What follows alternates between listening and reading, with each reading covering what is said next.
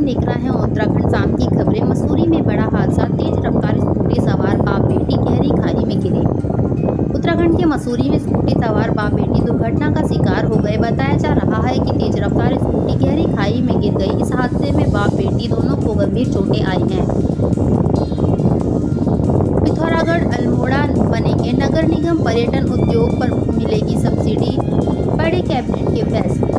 CM Dhami की अध्यक्षता में हुई कैबिनेट में और अल्मोड़ा को नगर निगम बनाने का प्रस्ताव पास हुआ। साथ ही कई अन्य फैसले लिए गए। मुख्यमंत्री पुष्कर सिंह धामी की अध्यक्षता में आज कैबिनेट की बैठक हुई। बैठक में कई महत्वपूर्ण प्रस्तावों पर मोहर लगी। वहीं कई योजनाओं को मंजूरी मिली। बैठक में पिथौरागढ़ और अल्मोड़ा को नगर निगम बनाने का प्रस्ताव पास हुआ। वहीं पहाड़ों में पर्यटन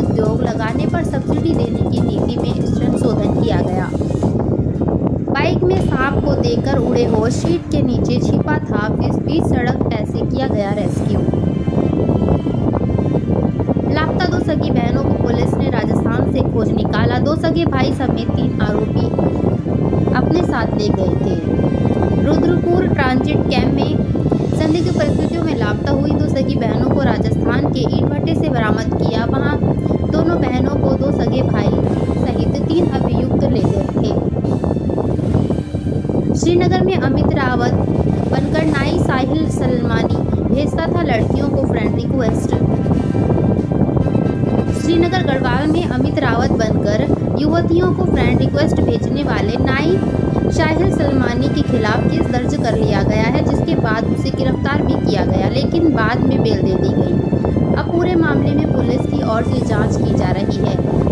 रामनगर में दो नन्हे भाइयों ने मरे सांप को मछली समझकर पाकर खा लिया। जाने फिर क्या हुआ?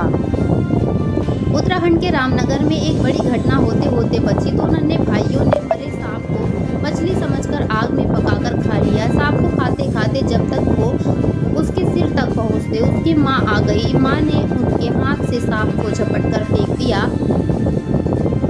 आधार कार्ड और ज्वेलरी पुल पर छोड़ महिला ने गंगा में किया सुसाइड, पुलिस तलाश में जुटी।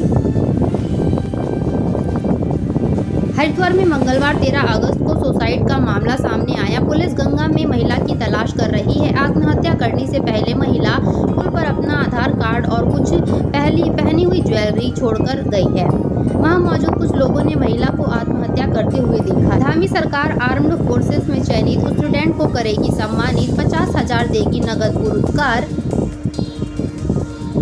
ऋषिकेश के त्रिवेणी घाट चौराहे पर दो नशेड़ियों की हुई नोराकुशी पंद्रह मिनट तक चला ड्रामा। उत्तराखंड नशे की गिरफ्त में आता जा रहा है। आए दिन नशा तस्करों और नशेड़ियों की तस्वीरें इस बात की पुष्टि करती हैं। ताज़ा मामला ऋषिकेश का है। यहाँ त्रिवेणी घाट चौराहे पर दो नशेड़ी दिन दहाड़े एक दूसरे से भिड़ गए। करीब पंद्रह मिनट तक ही चौराहे पर ही लोटपोट करते रहे।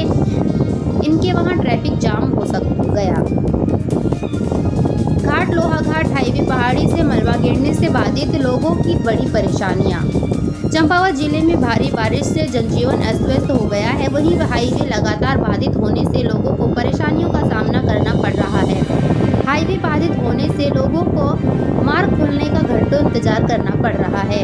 खिलाड़ियों के लिए अच्छी खबर, कैबिनेट ने उत्तराखंड खेल यूनिवर्सिटी को दी मंजूरी। आज उत्तराखंड खेल विश्वविद्यालय विधेयक 2024 को सैद्धांतिक मंजूरी मिलने पर खेल मंत्री रेखा आर्या ने खुशी ज़ाहिर करते हुए सीएम और पीएम का आभार व्यक्त किया। इसी बीच उन्होंने कहा कि उत्तराखंड के पास अब जल्द ही खुद का स्पोर्ट्स यूनिवर्सिटी होगी, जिससे खेल और खिलाड़ियों को पंख लगेंगे। उत्तरकाशी अवाना बुकयाल ट्रैक पर बड़ा हादसा। महिला ट्रैकर नदी में बही रेस्क्यू टीम खोजबीन में जुटी। रुद्रपुर में डोसा खा रही युवती से छेड़छाड़। बांग्लादेशी लड़कियों जैसा हाल करने की धमकी, एक गिरफ़्तार, दो फरार।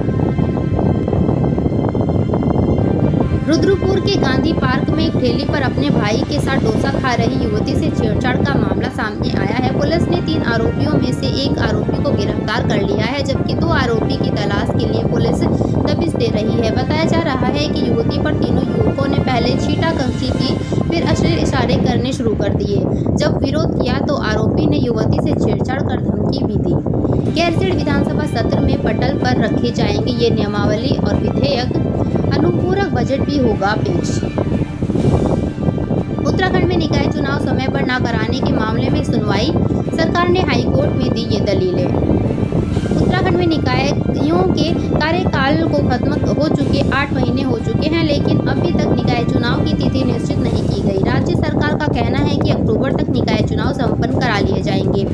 आज इसी मामले को लेकर नैनीताल हाईकोर्ट में सुनवाई हुई जिसमें राज्य सरकार की तरफ़ से महाधिवक्ता ने निकाय चुनाव में देरी पर दलील दी। रुद्रप्रयाग में बड़ा हादसा, नदी में समाया 16 कमरों का भवन, मिट्टी में मिल गई जीवन भर की कमाई।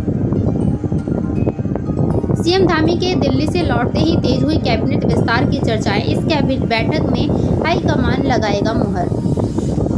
मुख्यमंत्री धामी के दिल्ली से देहरादून वापस लौटते ही कैबिनेट विस्तार की चर्चाएँ तेज हो गई हैं। खाली पड़े मंत्री पद को भरने की चर्चाएँ ज़ोर पकड़ने लगी हैं। कैबिनेट नेताओं के बयान भी कुछ इसी तरह से इशारे कर रहे हैं। अल्मोड़ा के नौनिहाल अपने संस्कृति से हो रहे रूबरू, वृंदा में आए नृत्य मंजरी दास सिखा रहे कथक की विधाएँ।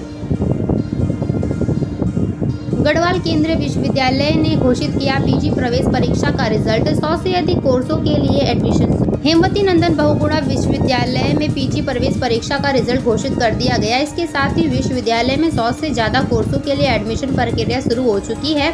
छात्र अधिष्ठता कल्याण प्रोफेसर एम एस नेगी ने बताया कि सीयूईटी में यूजी कक्षाओं में प्रवेश प्रक्रिया संपन्न करने के बाद अगर सीटें रिक्त बसती हैं तो उन पर हाई स्कूल और इंटर की मेरिट के आधार पर प्रवेश दिया जाएगा।